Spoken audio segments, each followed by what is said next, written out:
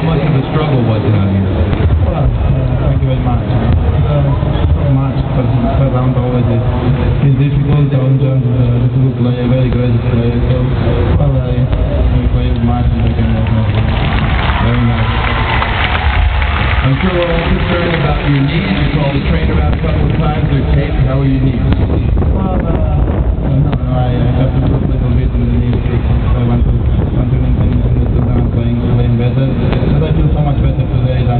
The day before, so that will improve. I have one day tomorrow and I hope on Friday the youth, but uh, Do you practice a little bit less because of your knees?